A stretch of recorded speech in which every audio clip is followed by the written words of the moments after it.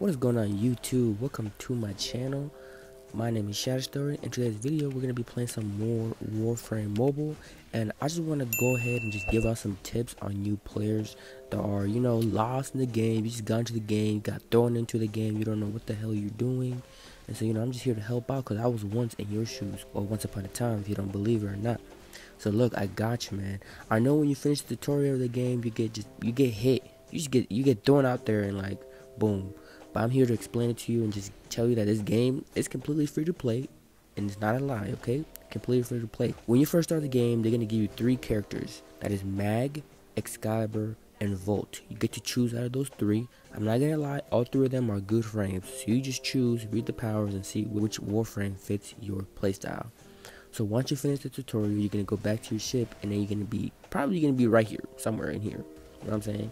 And now you're going to be like, now what? So look, every character in this game can be completely played free to play. You can get them free to play. You can obtain them free to play. We are going to go into the star chart. So this is where every this is where the magic starts to happen, okay? When you first start the game, you're obviously going to start off with Earth. Earth is going to be your little, you know what I'm saying, our little blue planet where we start off. Well, that's its home, okay? It's home. You see those white lines looking like spider nets going around the whole planet, those are what you're going to be following. And when your mission is blue, that means you have not done that mission yet, or that node. You have not done it yet. So what you want to do is just go ahead and follow those nodes, these white lines, and go to each node and do the mission. Some of the missions are tedious, but hey, if you're starting the game, nothing's gonna be tedious. It's gonna be really fun to play. The goal of this star chart is to go to different planets and explore. Each planet has a boss that drops a certain warframe. The first node is gonna be really easy. You just go ahead and do that and continue following this white trail until you get to the Mars junction. Junctions are basically like walls that you have to defeat or break down in order to go to the next planet. And each junction has a rewards pool. As you can see on the bottom, those are the rewards you're going to get for completing the Mars junction. Each junction has a certain requirement that you have to complete in order to go ahead and challenge this junction. And what I mean challenge is that when you enter this junction, it's also a separate mission. You have to fight a warframe or a specter. That's a warframe. And once you defeat that specter, you get to unlock the next planet. As you can see here, to go to Mars, you have to complete the quest Once Awake, which is the very first quest you get when you literally open the game and everything downloads. And then you collect 250 Rubedo and missions, which you will collect playing the missions here on Mars. They're very common drops. Each planet, like I said, has a certain boss that drops a certain part, a certain warframe. And you can farm that boss over and over again Hopefully RNG is on your side. And you're going to continue doing that all the way around this whole solar system, okay? You can do that all the way around to the whole solar system. That is basically what you want to do. Just follow these lines, do the junction requirements, and, you know, fight the bosses so you can, you know, get new warframes and try out new characters. You know what I'm saying? We are going to go into the marketplace, okay? The marketplace is where you're going to be getting your blueprints. This I had no idea blueprints were a thing when I first started the game. I thought platinum you had to buy it with real money just to get these new characters, but that wasn't the case. I was naive and I was tripping, tripping heavy. So you could unlock new characters. Remember how I said that in the in the system, the solar system, new planets, there's bosses that drop certain parts. The parts is just the the chat, the helmet, the chassis, and the systems. Once you build those, which take real life hours to, to build, by the way, you're gonna need the blueprint of that certain warframe and those blueprints most of those blueprints you obtain them through the marketplace. So for example when going to go into the warframes let's say i want to farm for let's say ash. There's that blueprint right there. It's you can either purchase the whole warframe built with the i think with the catalyst or reactor built into already. That's for your mods and stuff or you can buy the blueprint for 35,000 credits. And credits are basically the game's credit uh, game's currency system.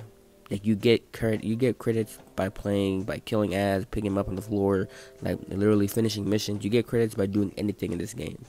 And once you buy the blueprint, you see right there when you click on the blueprint, it's gonna tell you that you need the, the helmet, the chassis, and the systems. And those you get by either defeating a boss, but with Ash specifically, you have to fight these little ads. I forgot the name of the ads, but they're very annoying to fight, and you have a chance of them dropping his parts. But most of these warframes, you get them, you get their parts by fighting bosses. It's the same thing for weapons as well. You come in here, you look at the blueprints that's required, you buy the blueprint, and then you you look you look for the parts, you farm for the parts, you build you get the parts and then you build the weapon. Now, when it comes to weapons, there are weapons that require a certain master rank for you to be at in order to craft them or even use them.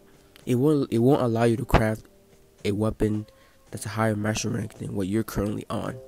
For example, I am master rank 23. I can I can practically build any weapon and use it however I see fit. But when you're just starting out the game, you're gonna be very you're gonna be low master rank, and trust me, in the beginning, master rank come goes up really quick because you're just constantly giving new things to build, new things to craft, and you're constantly leveling up new items, new warframes, new everything. It just comes up really nicely. As long as you enjoy the game, master rank will, will, will go up with you. Now, how do you level up master rank? So, leveling up your master rank basically by just playing the game and leveling up warframes and weapons and companions. Leveling up all those things gets your master rank up. You see that line right below my master rank number, that white line? That's your X that's your master rank XP when you level up your the weapons, when you level up the things that I said, that XP increases, you gain more master rank XP. And when it maxes out, you're gonna have to you're gonna be put to a test where you have to complete a mastery rank test. And it could be from anything from a speed run from parkour from fighting only with your weapons and they will block out your powers. There could be part where you can only use your melee weapon. So in times where you won't have any weapons at all there's gonna be stealth. It's, it's a, all sorts of things. The higher mastery rank you are the more difficult it gets. So like you know but by that time you're to be already familiar with the game experience. You're to know what to do. Some of them are challenging, but you got this. I, I believe in you. We're to make our way over here to the Void Relics. Void Relics is how you get primed versions of the, a weapon or a warframe. Each warframe and weapons have a primed version. Even companions have primed versions. For example, right now I currently have equipped the Baruuk Prime Warframe. So each relic has a chance of dropping that certain part. The top is the bronze, high chance of dropping than the lower ones. Um, as you can see, for example, here my Axi A6, um, the gold, which is the rare ones to drop, is the Atlas Prime helmet. I can increase that chance by using these things called tracers, and you get those tracers by doing void relics. Now, mind you, when you're starting out the game, you're going to be very limited on what kind of void relic missions you can do because you need to unlock more planets. The more planets you have unlocked, the wider choices of void relics that you have available to you. And to get these void relics, you, they literally drop anywhere. They drop anywhere. They keep dropping the mission. You can get them by doing spy missions, defense missions, exterminations. You know, you, they drop anywhere. You can start farming relics as soon as you finish the tutorial and start the game. There is like a tier system. For example, what I mean by that is there's lith relics, meso relics, Neo relics, and Axi relics. Axi relics are more of the higher enemies. The higher enemies they are, the more Axi and Neo relics drop. The Lith relics are more of the lower level enemies in the lower level tier um, levels. That's when the Lith and Meso and Meso um, relics drop. On Earth, only Lith relics drop unless you like somehow make it to the enemies where they're like level 40, level 50. That's when you might see you might start to see Neo and maybe Axi relics. But in the beginning of the game, you're probably gonna get a lot of Lith and Meso relics open those look at look what they got in there you know do your research and like see what kind of prime parts you want to get but i recommend you always get the regular version of the of that weapon or prime um, warframe just to test it out so you don't waste your time farming a warframe that you're not gonna enjoy a prime version you're not gonna enjoy because the only difference with a prime warframe from the regular warframe is that abilities are the same it's just that armor or health is slightly increased. That's the only difference. Besides the style, they look fire. Prime Warframes look fire. So you always want to get if you love a Warframe, go for the Prime Warframe because it's gonna be it's gonna look nice. Alright, it's gonna look really nice. But I just wanted to bring this video guys and just you know what I'm saying, um show you guys lead you on the right path so you guys don't get confused. There are things called blueprints. You go ahead and get those blueprints in the marketplace that cost in-game credit.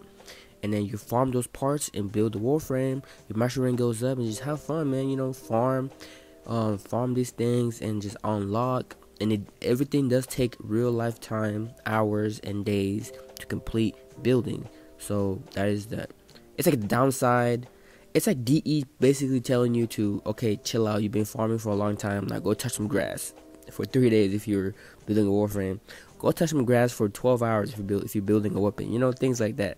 But you also have the chat, the trade chat. You also have the you know the community here. You can ask. Now that the game is cross save and cross play, you can go ahead and literally play with anybody anywhere, literally with Warframe Mobile, and ask a lot of questions because the community the Warframe community is not toxic. A lot of people will help. I'm not gonna lie, the Warframe community is not toxic. It's very active. So go ahead and ask questions. But I hope this video helped the beginner players on, you know, so you don't get confused. You know what I'm saying? Follow the main quest lines. Do not skip the main quest lines because the quest line is really good. It's really nice. I suggest you follow it. Don't skip any cinematics. Warframe cinematics are like French kiss. You know what I'm saying? They're very, they're very good. So that was gonna be all for the video guys i hope you guys like this video hit that like button subscribe to the channel and i catch you guys on the next one peace